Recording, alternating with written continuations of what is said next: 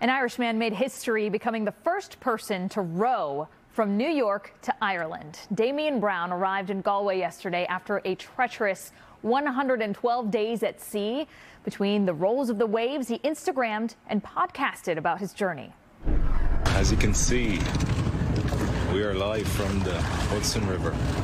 After a couple of weeks of enjoying the city and rowing up and down the Hudson, 42 year old Damian Browne launched his 20 foot boat from Chelsea Piers on June 14th.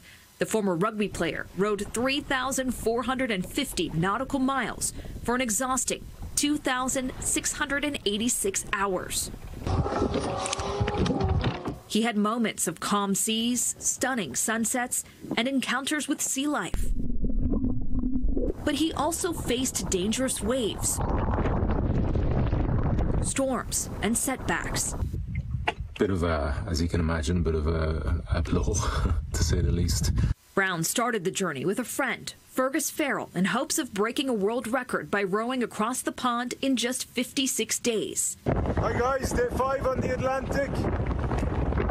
We've Gussie on the oars. Hello, buddy. Working hard. But Farrell had to be evacuated on day 13 for health reasons, a crushing blow for Browne.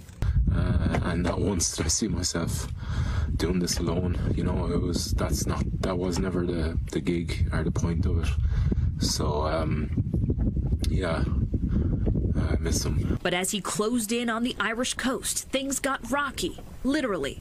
The wave just grabbed the boat, flipped me over, broke an oar. I was drifting, and I mean, I was. It was another twenty seconds, and we were we hit the rocks. Browne managed to crawl onto a large rock and got in touch with a friend. Uh, I saw um, flashlights, you know, kind of shimmering behind a, a big mound of ground, and I was like, "Oh, somebody's come." He was then met by officers offering their help. Yeah, not the finish I hoped for, but I'm fine. I'm safe. It could have been a lot worse, and uh, uh, I did it. He did it, and all of this was for a good cause. Browne team, teamed up with Project Empower for his row, gained donations during his trip. On Saturday, he and Project Empower will present a check to four charities in Galway.